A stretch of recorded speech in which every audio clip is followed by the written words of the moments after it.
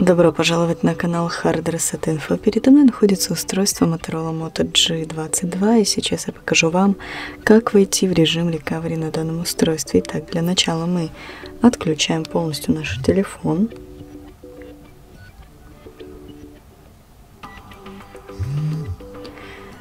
И после его полного отключения нам нужно будет зажать клавишу питания и клавишу уменьшения громкости. Таким образом мы попадаем в интересное меню. Здесь нам нужно будет выбрать наш Recovery Mode, нажимая на клавиши э, громкости. И для выбора нажимаем клавишу питания.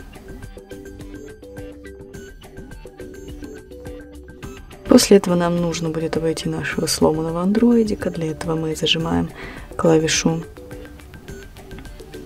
питания и нажимаем на клавишу увеличения громкости. И таким образом мы попадаем в режим recovery. И на этом все. Спасибо за просмотр и ставьте лайки. Подписывайтесь на наш канал.